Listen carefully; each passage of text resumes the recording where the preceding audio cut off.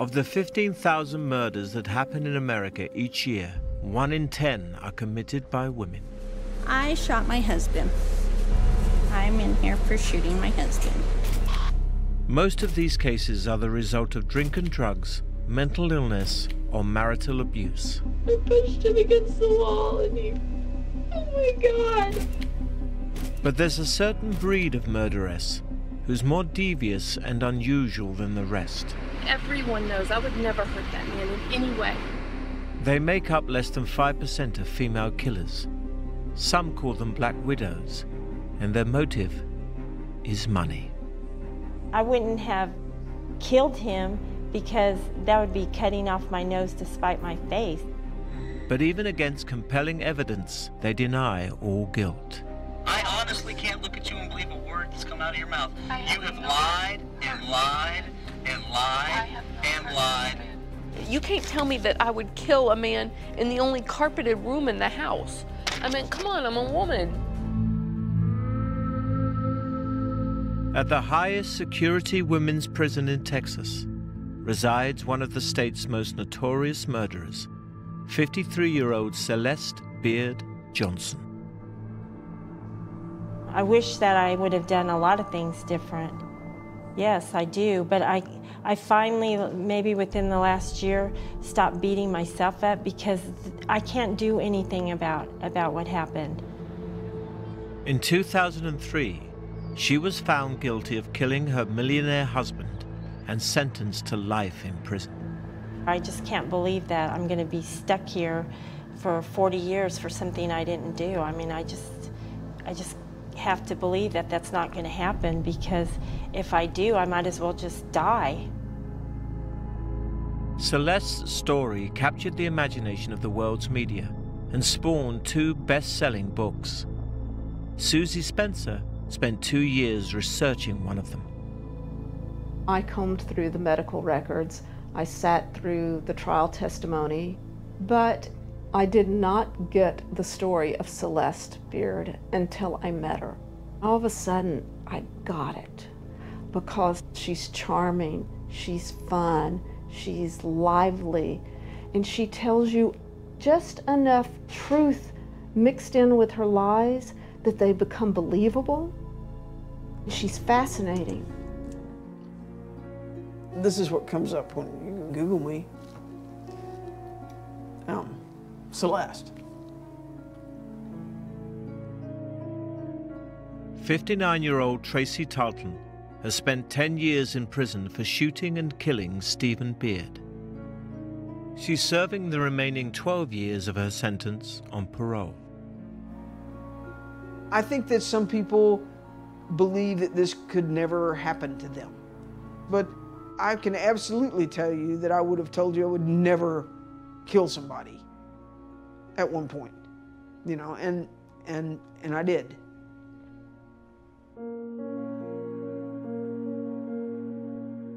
Tracy and Celeste met in March 1999 at St. David's, a top Austin psychiatric hospital. Both women were receiving treatment for depression.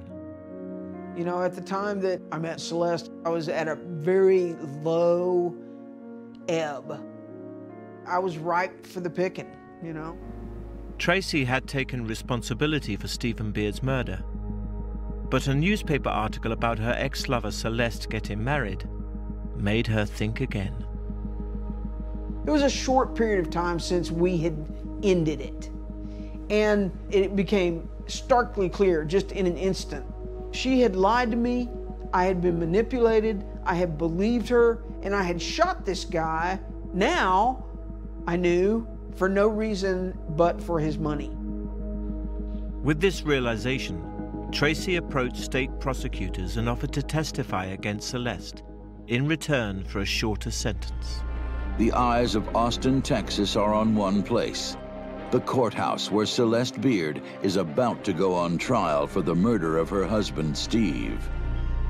This was a tremendous story in the media. You have this millionaire. He was murdered by his wife's lesbian lover. You have the issues of money, you have the issues of sex, you have some madness involved in this case. You have all that swirled in with family conflict. It's almost like something William Shakespeare would have written about. The most powerful impression is made by Celeste herself, who enters the courtroom to gasps of surprise. They open the door and she comes in, hobbles in on these crutches. I fainted in, in the county hospital and my foot stuck to the concrete. And so when I spun around, I got a spiral fracture in my tibia. Right before the trial started, I believe a doctor wanted to take the cast off. And she said, wait, wait, wait, wait, don't, don't, don't. Let me talk to my attorney first. It was like she thought that that cast would get sympathy. The prosecution's star witness was Tracy Tarlton. Show us how you shot him. I walked down to the end of the bed and I saw him and I pulled up and I shot him. What did you say about her suggestion that she shoot Steve Beard? I said, I don't want to do this. She said, there's nothing left. You know, I might as well, I might as well just take it right now and shoot myself. And I, I said, fine, let's go. I'll do it. But just as powerful was testimony from Celeste's own daughters, who told the court how she treated her husband. I mean, she called him a fat fuck. That's what was the main thing she called him, called him a pig. And she talked about how she hoped that Stephen Beard would just die. Why didn't he just die? So she could go on living the kind of life that she wanted to live without him. He let you into his home, loved you, honored, obeyed you, and you murdered him. You are guilty. The fact that those girls testified against their own mother is huge because they realized finally what she actually was. She was a cold, calculated person who pushed people to their limits.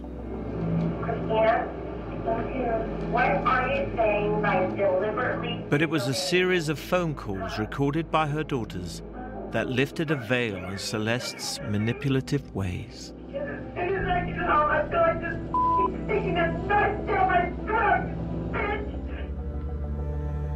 To hear her threaten them constantly, repeatedly, through tape after tape after tape.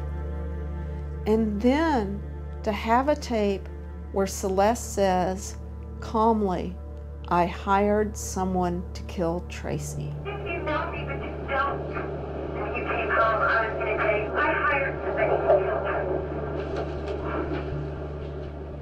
The call was uh, manipulated, it was altered. They didn't even play the rest of the phone calls or the whole thing.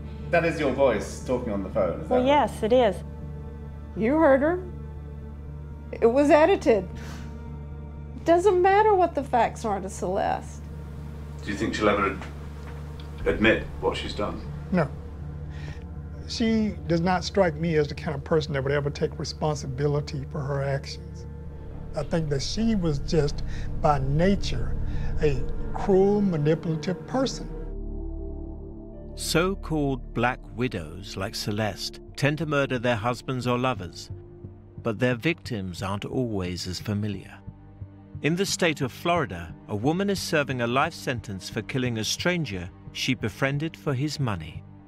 Like Celeste, Dorice D.D. Moore denies all guilt. I used to think that everybody that was in prison deserved to be here for whatever they were here for, and that we had a bunch of murderers that we needed to keep out of society, and there a bunch of bad people here. but I learned that there are a lot of people here for stupid reasons.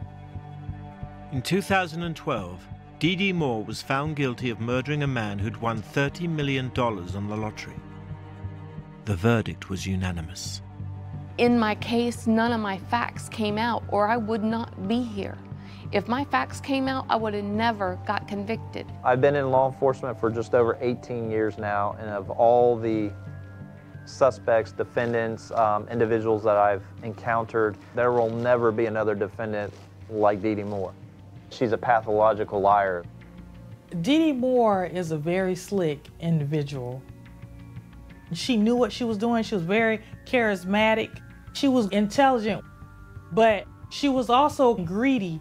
And her web of spinning lies caught up with her. It was at this convenience store that Abraham Shakespeare bought the lotto ticket that changed his life. but it's a life that officials now fear may have ended in foul play. Over the next seven months, police continually looked to Dee Dee Moore for answers. He is gone, okay?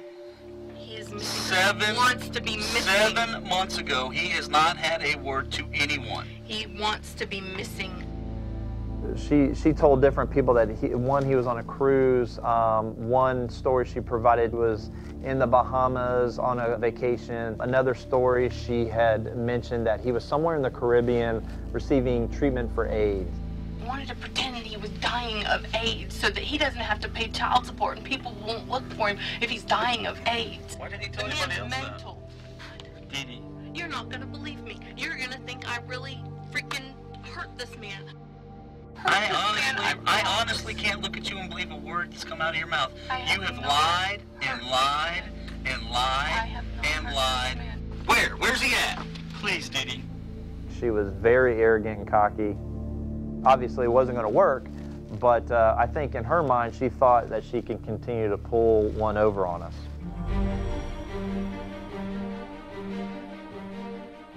Authorities in Florida have filed first-degree murder charges against Dorice Dee Dee Moore in connection with the death of Abraham Shakespeare.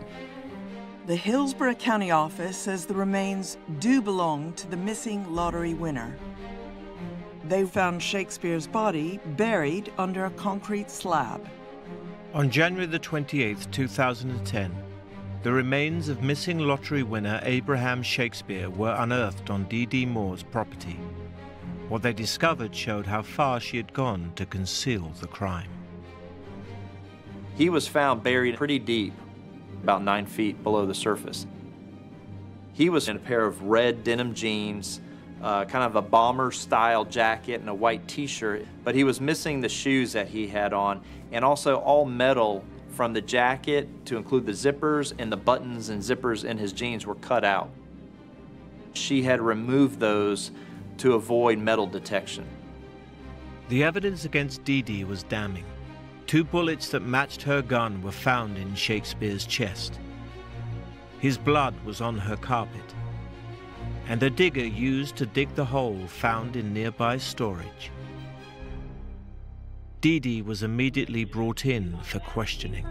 You don't protect All right, me. it's You time won't to just start tell me. you don't care if I'm We killed. know You don't care. You don't think it's a big deal. You think Dee I've done this. You think I Dee Dee. took a gun and shot somebody. Dee Dee, look at the bright side. If you can convince me, you can convince anybody. But you think I took a gun and shot Am this I right? man. If you can convince Hang me, on. you can convince anyone. I have a homicide in my county, and I have a body recovered, obviously, Mm-hmm. and I have a pretty good idea of what happened. Now it's time to lay it out. I did not kill that man. I interviewed her, basically confronting her. We sat with her for probably three plus hours. Now Dee Dee had a new story that Abraham was killed in a drug deal gone wrong. Two murderous thugs killed Abraham Shakespeare, but they're going to leave you a witness alive. Dee said Abraham pulled a gun on one of the dealers, and a man called Ronald shot him. When confronted with the fact that the projectiles taken out of his body matched the firearm that she owned and purchased, she then changed the story that her safe was open and this drug dealer, Ronald, was able to grab this firearm. She would change her story on the spot. She would almost lose herself in the statements that she was providing you can almost see the wheels turning in her head. She would look off into, into space and then come up with another excuse. Ronald didn't exist, it was a made up character. You try to tell you the cops these people exist and they laugh at you. They think you're crazy. Dee Dee Moore blamed everybody, everybody for the murder of Abraham Shakespeare except herself. She said that this fictitious drug dealer did it, the undercover officer did it, um, and even her own son. Dee Dee, this isn't one you can talk your way out of. Police have their own version of what happened to Abraham Shakespeare. We feel on the night of April 6, 2009, Abraham started to confront Dee Dee Moore about not having the money accessible to him. And the confrontation ensues, and ultimately he's, he's shot and killed over the money. Are you gonna miss your home? Yeah, but I miss it, but life goes on. We found his remains still in the same clothing that he was last seen in in a video that she had recorded. Dee Dee, it's all over. It's all over. Dee Dee Moore will spend the rest of her life in prison after a jury handed down their verdict.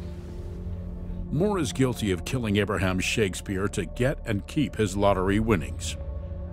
On the 10th of December 2012, Dee Dee Moore was sentenced to life in prison without the possibility of parole.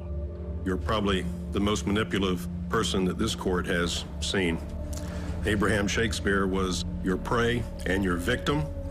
Money was the root of the evil that you brought to Abraham. I, I'm not a manipulator type person. I didn't deserve this. Being charged with something I didn't do. I was really innocent. So I was really upset with him. Since being in prison, Dee Dee has changed her story again. How, how did Abraham die? Who killed him? I don't know how Abraham died. I know what it says in the police report, but I really wasn't there.